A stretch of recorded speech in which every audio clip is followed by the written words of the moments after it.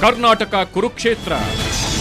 ಸಿಕ್ಕಾಪಟ್ಟೆ ಪಾಲಿಟಿಕ್ಸ್ ಕರ್ನಾಟಕ ಕುರುಕ್ಷೇತ್ರದಲ್ಲಿ ಅಭ್ಯರ್ಥಿಗಳು ಗೆಲುವು ಸಾಧಿಸ್ತಾ ಇದ್ದಂತೆ ಬೆಂಬಲಿಗರ ವಿಜಯೋತ್ಸವ ಮುಗಿಲು ಮುಟ್ಟಿತು.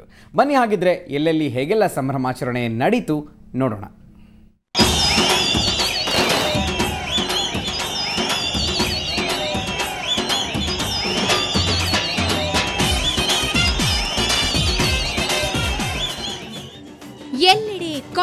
ಧ್ವಜಗಳ ಹಾರಾಟ. ಗೆಲುವಿನ ಕೇಕೆ ಹಾಕುತ್ತಿರುವ ಕಾರ್ಯಕರ್ತರು. ಅಭ್ಯರ್ಥಿಗಳ ಮೊಗದಲ್ಲಿ ವಿಜಯದ ಸಂತಸ.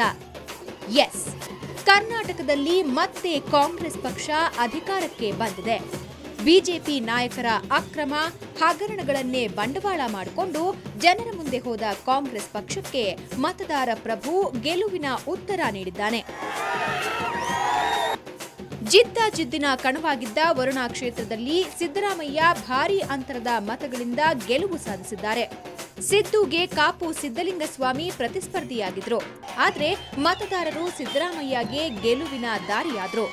ಸಿದ್ದರಾಮಯ್ಯ ಗೆಲುವಿನ ಫಲಿತಾಂಶ ಹೊರಬೀಳ್ತಿದ್ದಂತೆ ಕಾರ್ಯಕರ್ತರಲ್ಲಿ ಸಂಭ್ರಮ ಮುಗಿಲು ಮುಟ್ಟಿತ್ತು.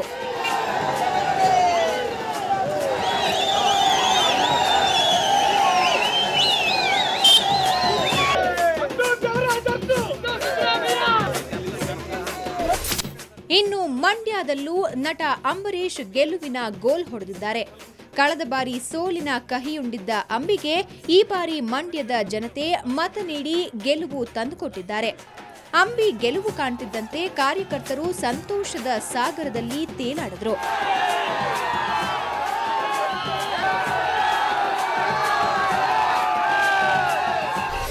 ಇತ್ತ ಕನಕಪುರದಲ್ಲೂ ಡಿಕೆ ಶಿವಕುಮಾರ್ ವಿಜಯದ ನಗು ಬೀರಿದ್ದಾರೆ. ಜೆಡಿಎಸ್ ಅಭ್ಯರ್ಥಿ ಪಿಜಿಆರ್ ಸಿಂಧಿಯಾರನ್ನ ಮಣಿಸುವ ಮೂಲಕ ಕನಕಪುರ ಕ್ಷೇತ್ರವನ್ನ ತಮ್ಮದಾಗಿಸಿಕೊಂಡಿದ್ದಾರೆ.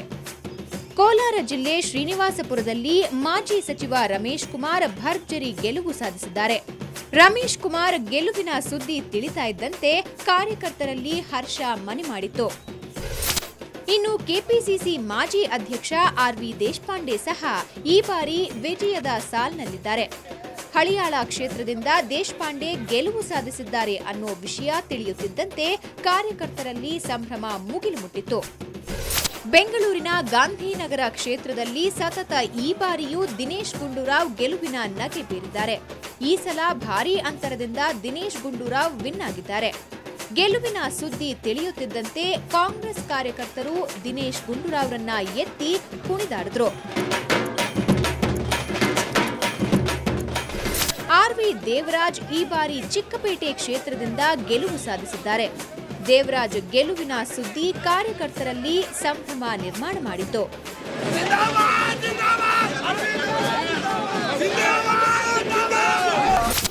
ಇನ್ನು ಬ್ಯಾಟರಾಯನಪುರ ಕ್ಷೇತ್ರದಲ್ಲಿ ಕೃಷ್ಣ ಭೈರೇಗೌಡ ಗೆಲುವಿನ ಸಿಹಿ ಉಂಡಿದ್ದಾರೆ.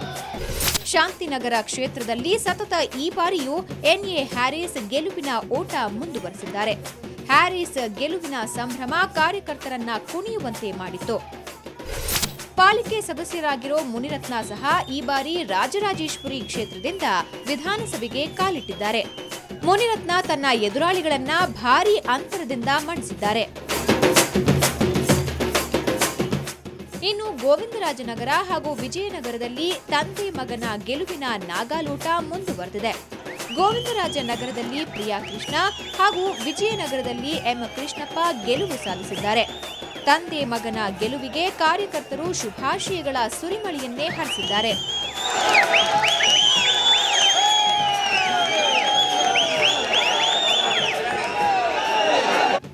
ಕಳೆದ ಬಾರಿ ಸೋಲುಂಡಿದ್ದ ವೈಎಸ್ವಿ ದತ್ತಾಗೆ ಕಡೂರು ಕ್ಷೇತ್ರದ ಜನರು ಈ ಬಾರಿ ಆಶೀರ್ವದಿಸಿದ್ದಾರೆ. ಗೆಲುವಿನ ನಗೆ ಬೀರಿರೋ ದತ್ತ ಕ್ಷೇತ್ರದ ಅಭಿವೃದ್ಧಿಗಾಗಿ ಶ್ರಮಿಸೋದಾಗಿ ಹೇಳಿದ್ರು. ಇನ್ನು ಚಾಮರಾಜಪೇಟೆ ಕ್ಷೇತ್ರದಿಂದ ಜಮೀರ್ ಅಹಮದ್ ಗೆಲುವಿನ ಪತಾಕೆ ಹಾರಿಸಿದ್ದಾರೆ. ಭಾರೀ ಅಂತರದಿಂದ ಗೆಲುವು ಸಾಧಿಸಿರೋ ಜಮೀರ್ಗೆ ಕಾರ್ಯಕರ್ತರು ಶುಭಾಶಯಗಳ ಸುರಿಮಳೆ ಹರಿಸಿದ್ದಾರೆ.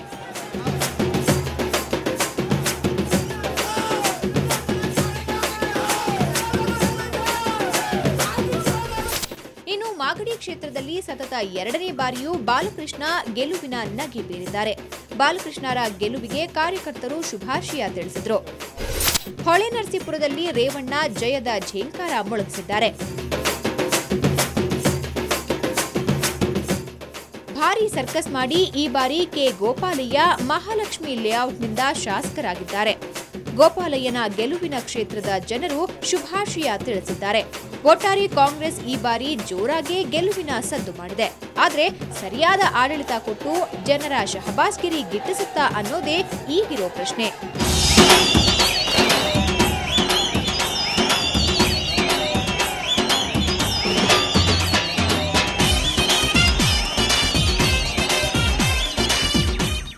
Bureau report, Suvarna news.